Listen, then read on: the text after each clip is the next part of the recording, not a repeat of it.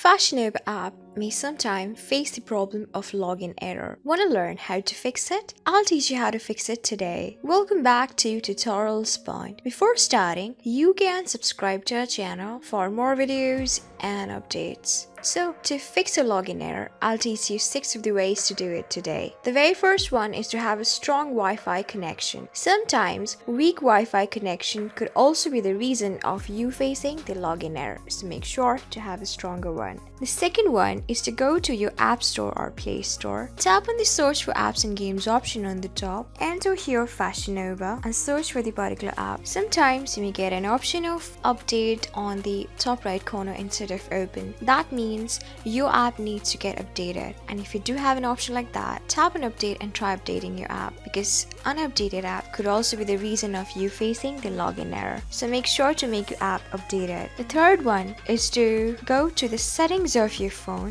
scroll down, tap on apps, tap on manage apps, tap on the search bar and enter here Fashion Nova and search for the particular app. On the bottom you can see three of the options that is force stop, uninstall and clear data. Tap on clear data on the bottom right corner. Tap on clear cache. Tap on OK. So you have successfully cleared the cache because it could be the third reason of you facing the login error. And by just clearing the cache, you've successfully made this app new and fresh. The fourth one is to force stop this app. I have recently force stopped this, so I do not have an option of force stop. Otherwise, you do get an option of force stop on the bottom left corner. Try tapping on force stop and tap on OK. But before that, you may get a warning that force stopping an app may lead this app to misbehave. But I would love to tell you one thing that force stop on an Android phone is a feature that could help your app start in a fresh way, so make sure to use it. The fifth one is to uninstall this app. Tap on uninstall on the bottom center. You can see that uninstalling will remove all app data. Tap on OK and you have successfully removed this. Now you can go to your App Store or Play Store and then again tap on the search for apps and games option on the top. You can search for Fashion Nova here here and then tap on install to install this app. So,